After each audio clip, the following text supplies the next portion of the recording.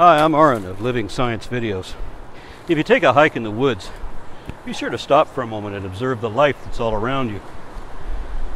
Now, if you're inclined to miss the forest for the trees, then maybe the first thing you'll notice are the things that visibly move birds, rabbits, deer, squirrels, and thousands of mosquitoes and spiders all over everything. Maybe a camouflage snake in the grass, hoping that I don't see it.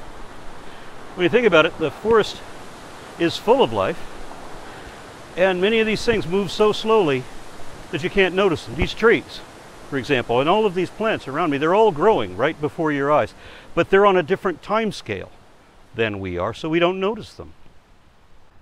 These vines are using their growth to ever slowly work up this tree, eventually strangling the tree and blocking out its sunlight. Why do plants compete for sunlight? Well, they need sunlight in order to make the energy they need to move and grow and maintain homeostasis.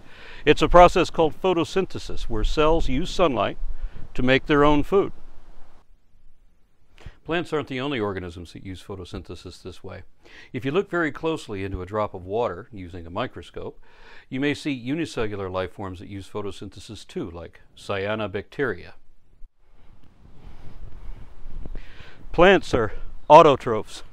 They get their energy direct from the sun, which we can't do. And then they convert or transform that radiant energy into a sort of chemical energy in the form of glucose, which is a type of sugar. And we can absorb that only by eating them.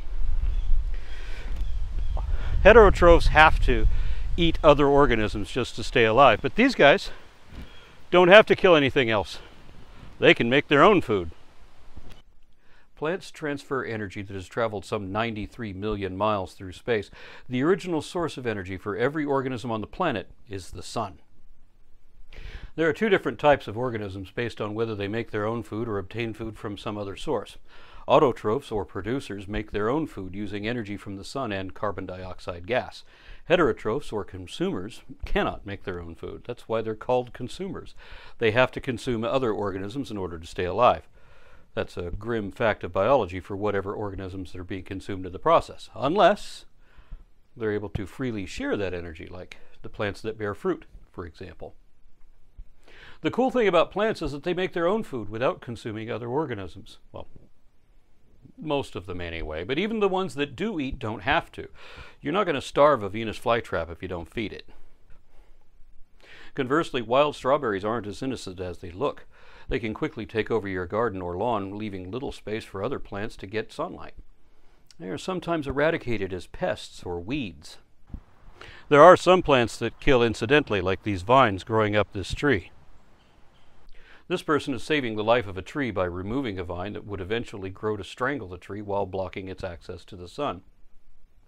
This again shows how important the sun is to plants because vines compete so aggressively for sunlight. Plant structures like leaves are highly adapted to capturing sunlight. They're like solar panels because they are. Plants are literally solar powered. Stomata in the bottom of the leaves have tiny holes that allow the plant to get the carbon dioxide it needs to make its food with sunlight. Stomata also allows water to get inside, which is also an important part of the photosynthesis process. Most of the water is absorbed by the roots of the plant. Leaves have different shapes that help them capture sunlight the best for their location. A broad leaf can capture more sunlight, but it also absorbs more heat or thermal energy. So broad leaves work the best in shadier areas, and smaller leaves work better where there is more direct sunlight, like a treetop. What about thin needles then? Needles lose less water to evaporation and are a great strategy for drier areas. The leaves are where food is made for a plant.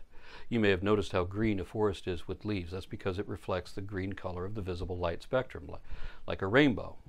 It has colors that are visible to us and also some we can't see, like infrared and ultraviolet. Now, time for a cool, mind-blowing science experiment. In 1800, the scientist Sir Frederick William Herschel set out to measure the temperatures in the visible light spectrum, using a prism to break the colors of sunlight that normally blend into white light into a full rainbow.